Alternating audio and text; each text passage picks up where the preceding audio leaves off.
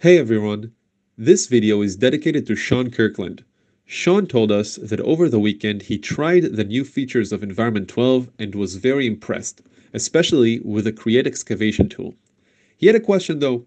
Sean wanted to show in his section view the topography that is, as he calls it, too deep in the background. Well, there is a way to do it and I thought it would be a good opportunity to highlight a great documentation tool that we don't talk about very often, the Surface Profile tool, which creates a detail line or a spline that follows the cut topography so that I can later add it to my section or elevation view. So if I'm looking at my section, you can see that my excavation doesn't really show. It makes sense since I can't see through the ground. It's there because I can see it when I select the topography. One option is to make it transparent, but that might add additional noise into this view. So let's add the surface profile line. In my side view, let's check how deep this section view goes. Now, let's add another temporary section right here.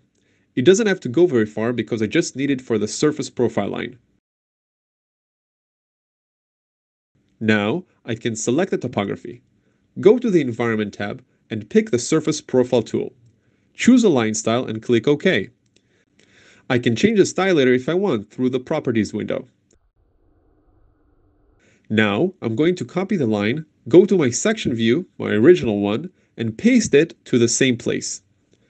That's it. It can be useful in many different ways. Sean, I hope this helps, and I invite you all to check out the awesome new tools of Environment 12. Bye!